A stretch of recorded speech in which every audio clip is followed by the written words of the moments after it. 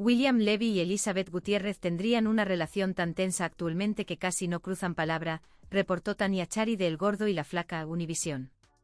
Llegaron hasta el punto de incluso incluir investigadores privados entre ellos. Además de estos problemas, hubo entre ellos un problema de un dinero bastante crítico que fue una de las razones más fuertes para su última separación, afirmó la periodista colombiana en el programa el 15 de abril. Según reveló a Chari una fuente cercana al actor cubano, los padres de Christopher, de 18 años, y Kylie, de 14, buscaron la ayuda de una terapista y de un pastor antes de poner fin a su relación de 20 años. Fueron a terapia, pero William se molestó porque Ellie fue primero donde la terapista a contar su lado de la historia y no esperó a estar los dos juntos.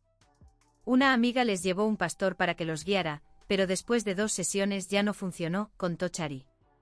Chari explicó que Gutiérrez no quiso dar nuevas declaraciones. La actriz mexicoamericana solo pidió respeto y comprensión para sus hijos. Por su parte, dice que Levi contará su verdad más adelante. William está seguro de que todo lo que está haciendo Elizabeth es para provocarlo y comenzar un caso judicial en su contra, añadió la reportera.